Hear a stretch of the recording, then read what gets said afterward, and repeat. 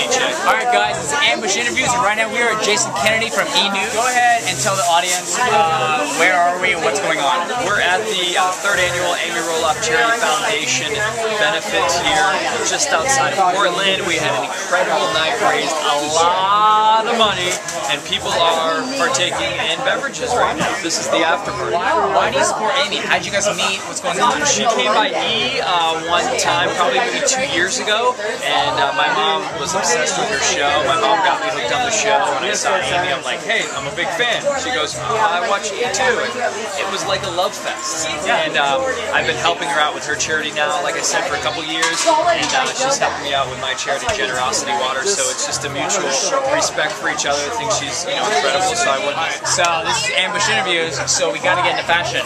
As a public figure, is fashion important to you? Yeah, I mean, who doesn't like to look good? You have to feel confident out there. So, uh, yeah, I, I don't think about it too, much, but uh, we've got a great stylist me, and she lays out a bunch of different, you know, different. Hey, babe! People are. I don't want to disrespect you, but on E! News, we've all seen him on there. You are a little PG-13, so on camera you have your professional look. Off camera, what do you normally wear off camera? I wear jeans pretty much every single day, and a t-shirt.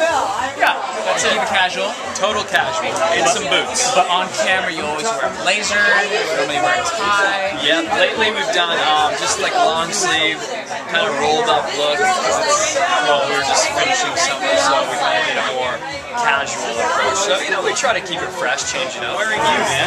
You are you are wearing a little bit of Peniche right now. Yes, a little Peniche right here.